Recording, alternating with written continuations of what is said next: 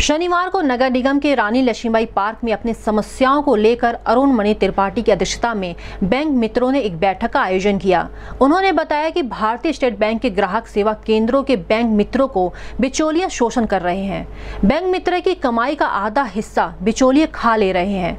Bank मित्र अपने risk पर bank से पैसा लेकर अपने सेंटर पर आता है।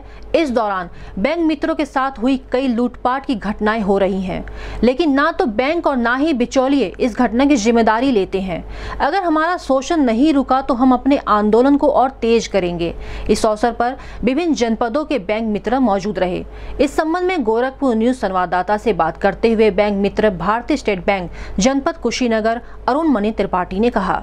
स्वागत करता हूँ कि इतनी बैंक मित्र बैंक मित्र मैं आप लोगों का स्वागत एकजुट होकर के कंपनियों पर और स्टेट पर बांटते हैं, ट्रांजेक्शन करते हैं। और सौ रुपये के कमीशन में पचास रुपये कमीशन बैठे बैठे ये बनाया जाए कि अपनी आवाज़ यहाँ से लेकर के दिल्ली तक पहुँचा दिया जाती है अस्सी बीस का ही मिलना है तो हमको अस्सी मिलना ही चाहिए। हम उससे कम पर काम नहीं करेंगे। कंपनी में जहाँ पर हमको ये व्यवस्था मिलेगी, अन्यथा हम भारी संख्या में आंदोलन करने के लिए तैयार रहेंगे। जिसका, जिसकी ज़िम्मेदारी हमारी कंपनी, जिस कंपनी के थ्रू हैं और भारतीय स्टेट बैंक की होगी, जो दोनों की मिली भगत से हम लोग का शोषण किया जाता है।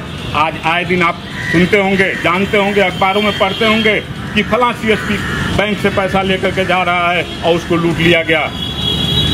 इनके बैंक में अगर जो पैसे की कोई भी चोरी होती है, उनका कोई भी अधिकारी या कर्मचारी दूसरे बैंक से रेमिटेंस मनी लाता है तो उसकी सिक्योरिटी होती है।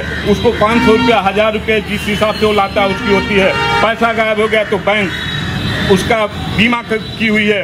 पैसे पर उसका कोई आरोप नहीं आता है। हमारे सी भाइयों को, हमारे सी भाइयों को गोली लग जाती है।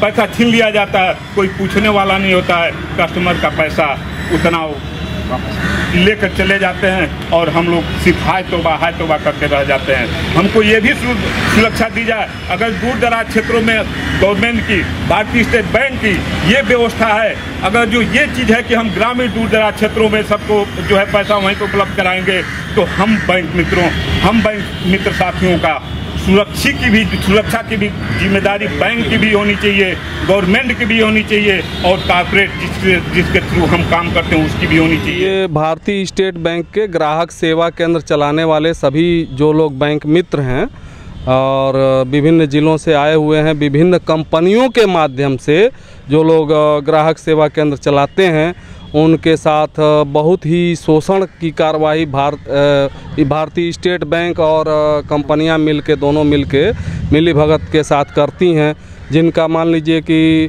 ग्राहक सेवा केंद्र में खाते हैं, मान लीजिए दस दस हज़ार पाँच पाँच हज़ार खाते हैं, उन पर पर डे ट्रांजैक्शन होता है, उस पर कमीशन मिलता है, यदि सौ रुपये तो पचास रुपये कंपनियाँ खुद डकार जाती हैं, जो बैंक के संज्ञान में होने के बावजूद भी बैंक उस पर कोई कार्रवाई नहीं करती है।